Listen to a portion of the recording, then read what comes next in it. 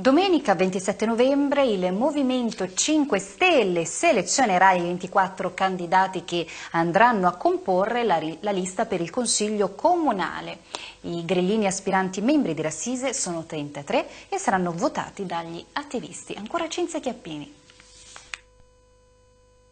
Dieci ore di consultazioni e conteggi per individuare la lista degli aspiranti consiglieri comunali del Movimento 5 Stelle. Domenica 27 novembre dalle 9 alle 19 i grillini carraresi saranno impegnati nella selezione dei candidati per l'assise. Alla scadenza di fine ottobre, indicata dal Movimento, si erano presentate 43 persone. Una decina ha rinunciato mentre 33 sono passati dalla graticola, vale a dire l'appuntamento con le domande degli attivisti. Domenica presso la sede di Galleria d'Azeglio gli attivisti storici esprimeranno la loro preferenza con la possibilità di indicare fino a 24 nomi a fare da scrutatori i consiglieri comunali del movimento Matteo Martinelli, Federico Bonni e Francesco De Pasquale che a fine giornata, contati i voti, stileranno una graduatoria di 33 candidati. A parità di preferenze sarà privilegiato l'aspirante consigliere più giovane e nonostante sulla lista delle amministrative finiranno solo 24 nomi,